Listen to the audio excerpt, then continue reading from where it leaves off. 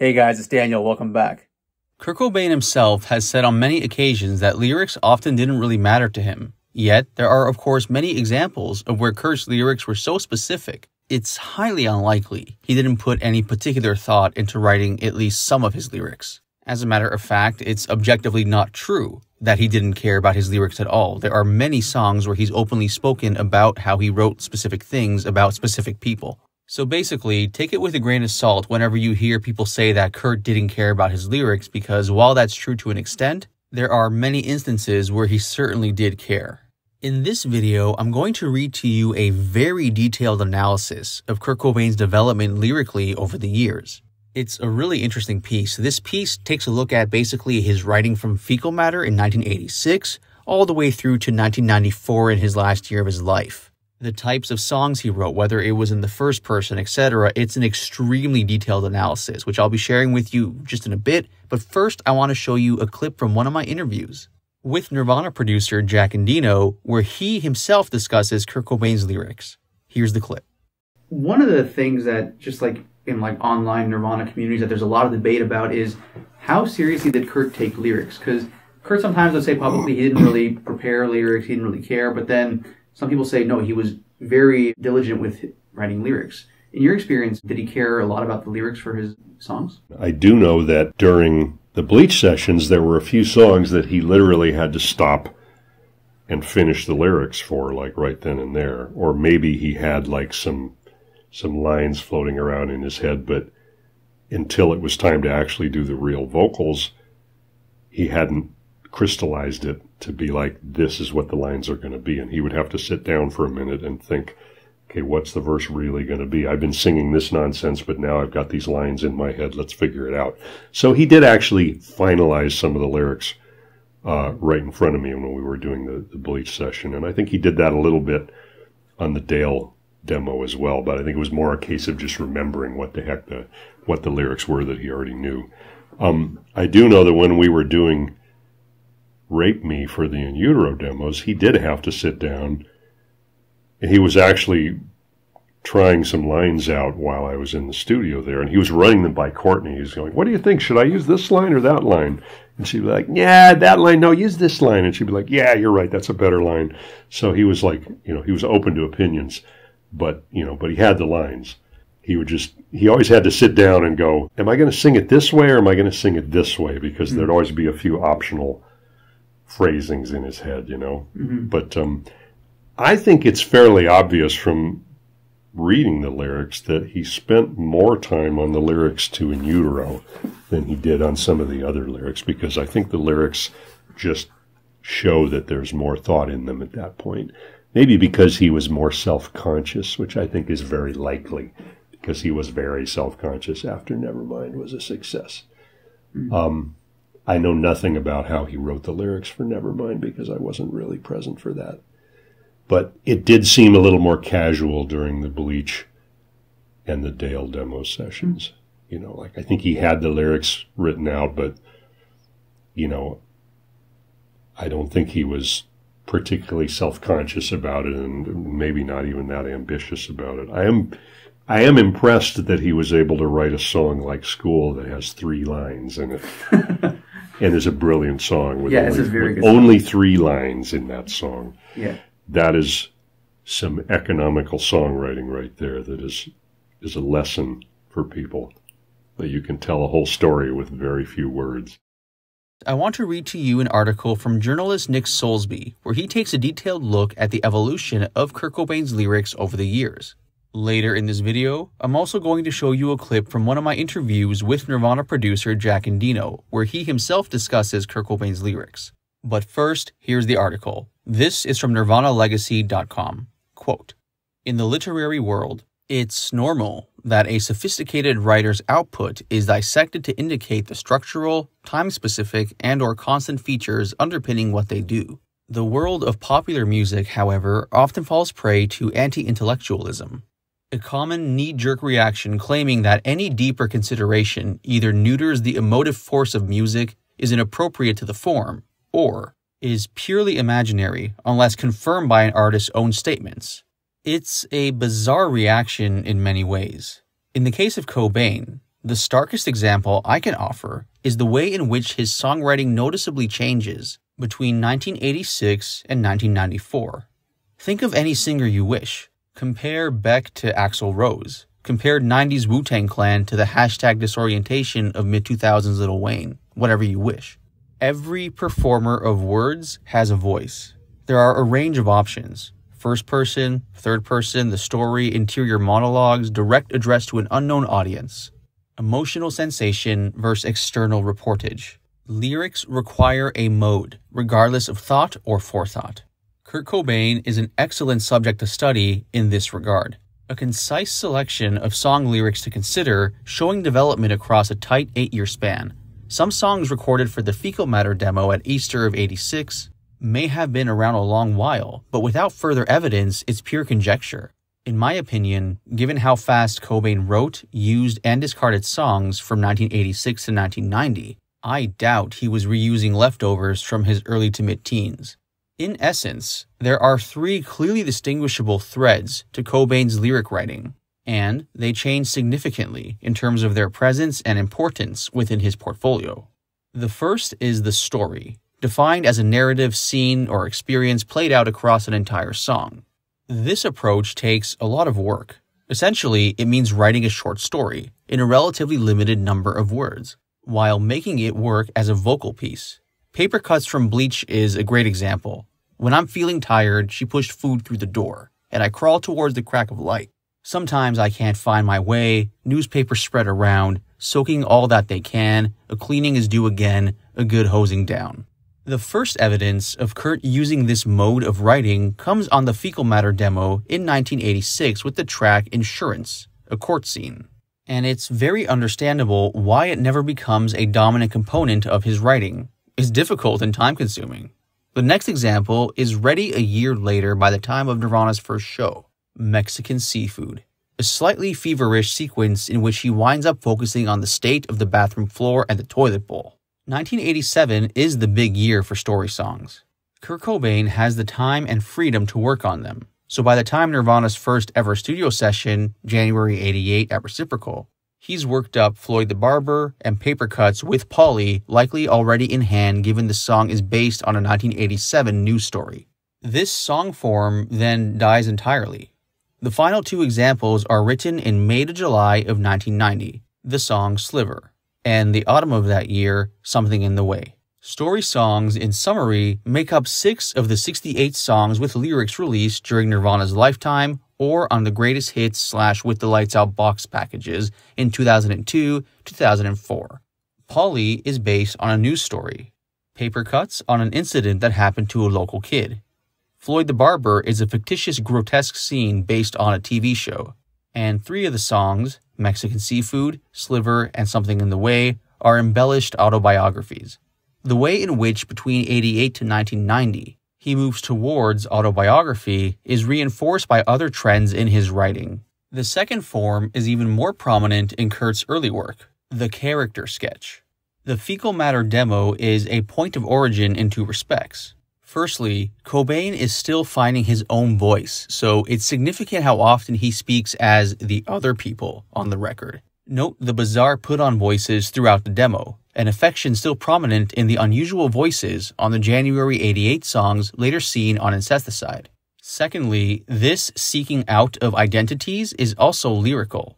The song Laminated Effect is the only time Kurt sketches named characters, Johnny and Lucy, respectively, while the song Buffy's Pregnant marries his vocal impersonations to stereotypical dialogue of the types of individuals he's representing. Mrs. Buttersworth, in which he hashes out a would be homemade folk art entrepreneur's future plans, continues this lyrical approach in which he visibly speaks as another person. He gives up on vocal impersonations very swiftly, and very soon it becomes less obvious he's speaking as a character or autobiographically. The B side to Nirvana's first single, Big Cheese, had started life as a tale of management at a fast food joint. Then it evolved into a comment on the management at Sub Pop. There'd also been Hairspray Queen and If You Must, both of which were recorded in January of 88, while Sappy was demoed in 88. The peak for the character sketch, though, was its dominance on Bleach, which contained about a girl, school, negative creep, scoff, Swap Meet, and Mr. Moustache. Things had visibly changed by the time of Nevermind.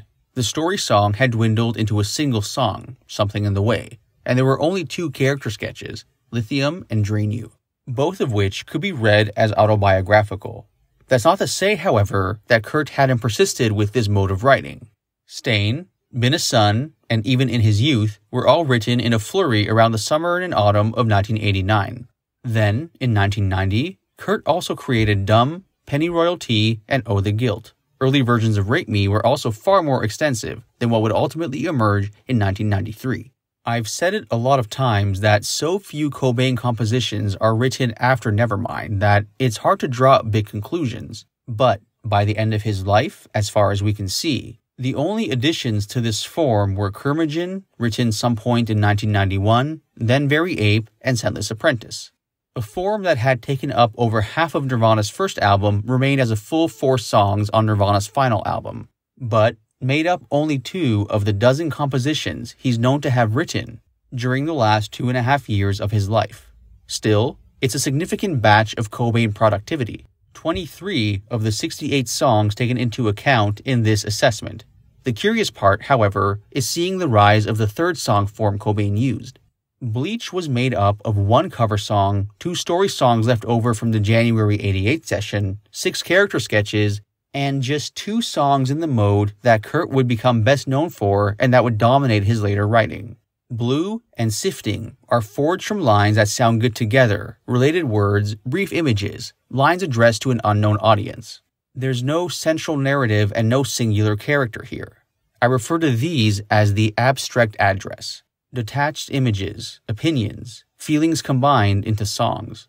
Downer is the nearest fecal matter came to this, though there was a central theme at play. Note, by the way, that Downer starts with an anonymous narration, then breaks into the first person. Kurt would do the same thing on Spank Through, Mexican Seafood, Big Long Now, Dive, Smells Like Teen Spirit, Drain You, Scentless Apprentice, and Radio Friendly Unit Shifter, opening lines in one mode, the rest in another. Oddly, Downer, Aero Zeppelin, and Sifting would be the last songs Kurt wrote that are entirely anonymous with no I, he, or she involved. Just another small evolution in his style. Spank Through was the next form in this mode, followed by Blew and Sifting. Increasingly, this is how Kurt would come to write, lines taken from different journals or scribbled out relatively close to the time of recording. If you look at something like Teen Spirit, for instance, ideas barely linger longer than a couple of lines. Elsewhere, try In Bloom, with its chorus refrain existing entirely separately from the verse themes, which are themselves fairly diffuse. Sell the kids for food, weather changes mood, spring is here again, reproductive glands. On Nevermind, there were two story songs, Polly and Something in the Way, then two character sketches, Lithium and Drain You, and then the rest of the album consisted of this abstract tone. In Utero, again, would divide up relatively cleanly. No story songs, four character sketches, the rest is abstract. The abstract tone was, by its very nature, a highly adaptable form. Note the change between Nevermind's unspecific combination of broad statements of opinion and imagery versus In Utero's targeted clusters of autobiographical reference. Cobain fixates on the media on In Utero. It isn't uncommon either for fame to impose a certain introversion on lyrics. Essentially, once all an artist sees is hotel rooms, stages, and business meetings, it's hard for them to say much about the world. Think of Axl Rose moving from the grime of Appetite for Destruction to the love songs and psychological dissections on Use Your Illusion. Or, more specifically, compare that to Chinese democracy after a decade stuck in a mansion. Recently, The Weeknd's new album was filled with the least interesting, specific, and developed writing of his career. In conversation the other week, someone drew my eye to Do Re Mi and pointed to it as a quintessential heroin song comparable to the narcotized drift of Lennon's Imagine or Lou Reed's Perfect Day. There's this air of blissed out, warm nothingness to it all. It reminded me again that there's more to meet the eye inside the music of Kurt Cobain. End quote. Now, I want to show you guys a couple of clips from various interviews I've done with various Nirvana producers, Steve Albini, Steve Fisk, and Jack Endino, where they touch on how Kurt Cobain approached recording vocals. If you want to see the full interview with either of these three producers, the links are available in the description box below. All of the interviews on this channel are arranged independently by myself. If you want to support, the best way to do so is simply to subscribe, share the video, like the video, and thanks for watching. One of the distinctive elements of In Utero, in my opinion, is the raspiness of Kurt's voice. Like, I mean, he screams at all the records, but I really find with Bleach and In Utero in particular, he's really letting loose. Um, with a song like Tourette's, he's basically just screaming the whole time. Uh, did he ever blow out his voice when he was uh, recording that record? I don't recall anything specific, although he basically sang the whole album in one go, and I think he paced it so that the less demanding songs would be early in the session, and then the harsher songs would be at the end.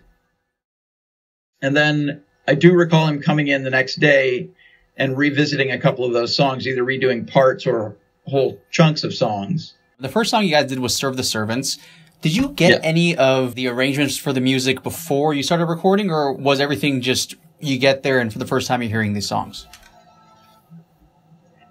They had sent me Rio demo, which was a demo tape that they had made in Rio de Janeiro that had most of the songs from the session and a few loose jams. The arrangements were all pretty worked out, you know, and Kurt had ideas about for each song he had little extra bits that he wanted to do, either a second guitar or uh, a contrasting uh, part he wanted to to add that was not that wasn't necessarily structural, but there would be like, okay, well, we get to this bit, it's going to be a second guitar that's going to take over or going to join, and um,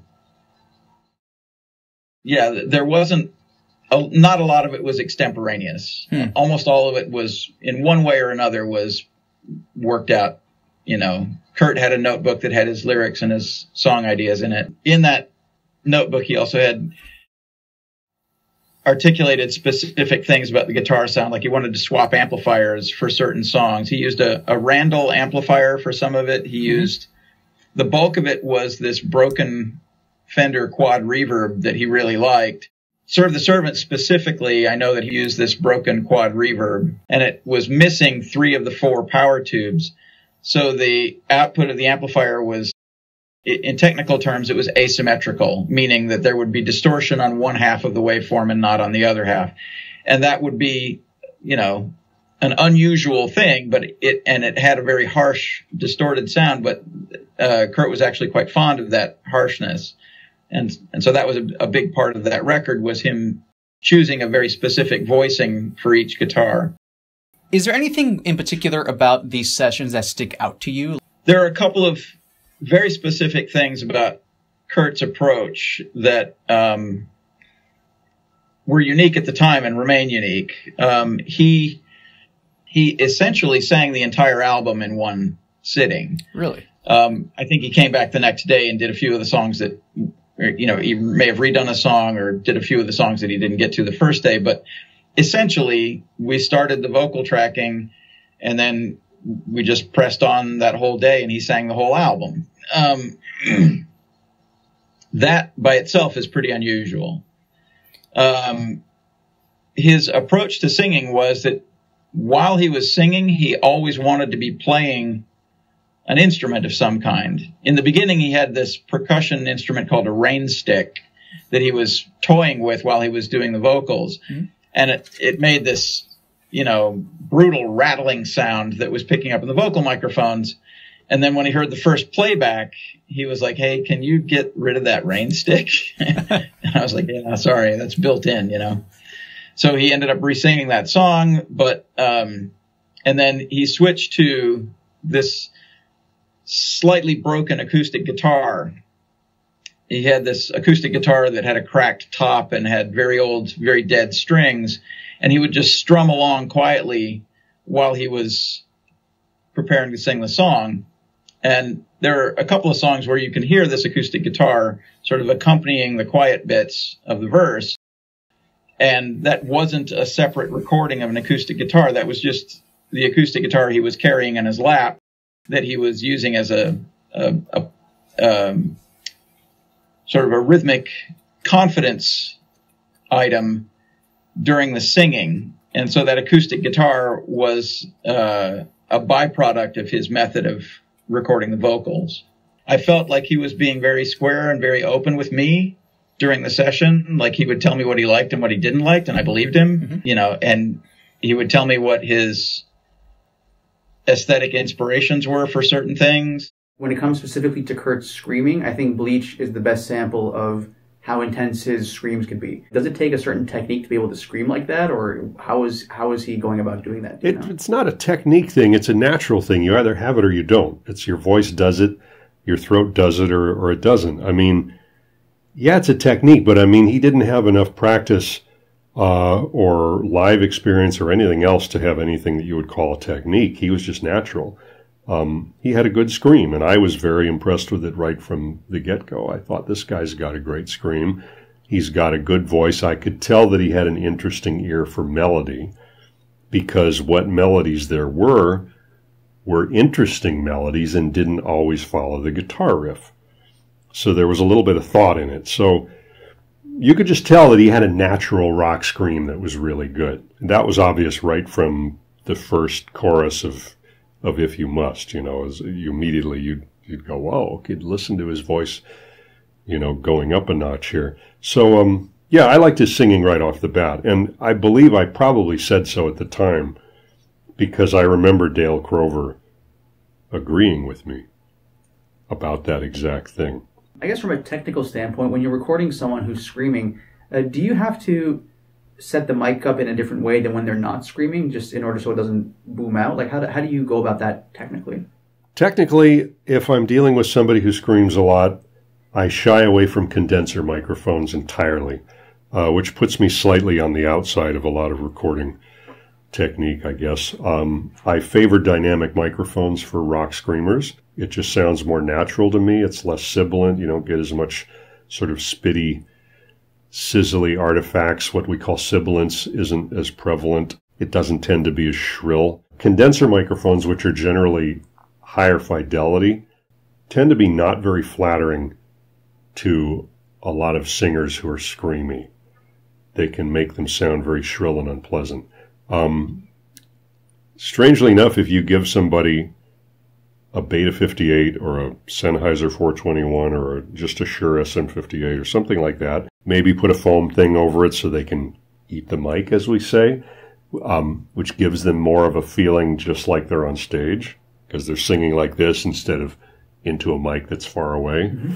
Um, you get the proximity effect of the microphone working in your favor, but the pop filter that's over the mic is keeping the plosives from happening. Uh, long story short, you can set up, and I've done this many times. I'll set up like four or five microphones just in a row and let, you know, I'll say, okay, sing me a couple of lines of the loudest part of the song, and we'll just go through and we'll just A B them and we'll pick the mic.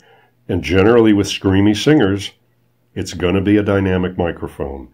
Um, and all the expensive condensers are going to be left behind. Now, that's just my experience. Your mileage may vary. Mm-hmm. But in Kurt's case, in 1988, most likely I just had him singing into an SM58 with a pop filter.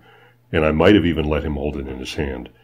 Um, don't think so, though, because he would not have been a hand holder. He was used to playing with a guitar, so he would never have, he would never have sung into the mic with it holding in his hand. I have other people do that. Mark Lanegan sang into a, uh, hmm. an SM58 holding it in his hand for the Winding Sheet record. Sometimes the simple, obvious microphone is actually the best microphone to use, even though you may want to use the $5,000 microphone. It's not always the best choice. It really depends on the voice and the technique that's involved. The last few years, having gotten to speak with Jack Endino and Steve Albini and people who've actually worked with the band, it it kind of corrects a lot of the the false images that there are of the band out there. Like there's this kind of image that like sometimes Kurt is portrayed as a bit of a slacker, someone who didn't really care too much. But speaking with Steve and with Jack, they both said that he he was very serious in the studio. So that was you had the same experience with him essentially. Mm-hmm. Yeah. How did he approach recording vocals? Was there anything unique about his approach? No, he just did it. Hmm. I mean, when yeah, you know, he just stood in front of the, the microphone. It was a very good microphone. Neumann U67, um, same one we used for Beat Happening and, anybody else that recorded there. Uh, and it, you know, he just sounded great. He just was a natural born singer. Just did that. A lot of people don't understand. There were so many good singers of that generation. Like within five years, I recorded Shawn Smith, Reggie Watts, Chris Cornell, Calvin Johnson, Kurt Cobain, Mark Lanegan, and a lot of other great singers that no one knows about or, you know, other people know about. So, so the idea that, uh, you just, well, yeah, this is taking care of itself, you know, but put Kurt in front of a Neumann mic, put it through this compressor and we're in business, you know, it just, it just sounded perfect. So cool. And, and just happened organically and happened in one or two takes, you know, so. That's awesome. And was he easy to work with in the studio? Yes. That's cool. So when yeah, we had we had fun. It was a good time. Okay, so they they come to the studio. You start working with them. When did you first like? Was it right away you saw? Okay, these guys are like like he's a natural born singer, or like did it take a few takes for for that to come through? Oh, I knew that from the Bleach record. Hmm. You know, I mean, it, it, just sounded great. You know, he had uh, what they call it a vocal fry. He had a place where his voice went into overtones and I picked up all these harmonics and it's just a classic thing that, you know, great rock singers have. Hmm. And, uh, yeah, you could hear that all over the stuff. And then believe me, I heard Bleach without ever, I don't think I ever put, put the record on in my house. I heard Bleach so many fucking times, you know, by the time I recorded Nirvana because it got played on the radio or it got played in restaurants and all this. And, uh, but yeah, there was a, there's a whole thing when, uh, when a band's getting ready to track and especially a guy like me, because I came to engineering later on than some people. So, uh, I work hard, maybe harder than some folks because I'm, I'm really trying to, you know, not fuck up and do the best gig I can. But yeah, when you've got three people playing and, you know, 12, 20 mics all happening, you're running around checking this and that and checking levels and you've got a tape machine and there's all these things that can go wrong or overmodulate or, um, and what have you. And then you get, oh, vocal. Oh, that's, you know, it's fun. Yeah. you just sort of look in the middle of all of this shit. You go, oh, yeah, there you go. There's the vocal, you know, and it just sounded perfect. It was just like him out in the room with the cymbals bleeding into everything. And he was just totally delivering, you know, uh, on the, on the basic, not even as an overdub, just, you know, while, while the band's laying down the, the basic while he's doing allegedly a, a scratch vocal. He's just delivering it as if he was playing live, you know. That's amazing. So, so, so you mentioned about a minute ago that you also work with Chris Cornell. Was his approach to recording vocals different than Kurt's? Like, how would you compare the two of them as singers in the studio? You have to understand both these guys I worked on records that were Econo records, and there wasn't any time for screwing around. And so both these guys just went in and did their part and didn't fuck around. And later, you know, Cornell figured out all these ways to record and recorded himself a lot and chased everybody out of the room. I wasn't around for any of that. The 90s to early 90s to a certain extent, and then the 80s definitely, they don't fit well onto the internet. And so it's not very well documented. And there are just a lot of stories and a lot of things that happened when, you know, people had VHS cameras, but they didn't have their phone, you know. Yeah. So uh, yeah, only so many things got recorded. Only so many people did interviews. Only you know, uh, you know, when I was recording the Screaming Trees on an Otari MX 5050B, Jack Endino was recording Nirvana and Soundgarden on an Otari MX 5050B. Dinosaur Jr. back in uh, Boston, in Boston was being recorded on an Otari MX 5050B down in LA. Husker Du were being recorded on MX5050B, so everyone was using the same half inch eight track. Certain things were like, okay, that that's a 1985 sound, that's a 1984 sound, you know, uh, and and you can hear it. It's all over the records. Mm-hmm. People don't don't really understand that. People are excited about tape. People want to know about all of this, but it, it's it's an odd one. So anyway, thank thank you for your efforts in uh, looking into you know the past and and uh, some of the early days and all of this. No problem. I, I appreciate that. I really like the the the old stories of how things got to where they were. Like I'm I love history. So I feel like with Nirvana because they're such a big band and like people just look at them they look at them just as stars, but they don't they don't look at the early part of how they got there. So I love uncovering these little stories about what things actually were like.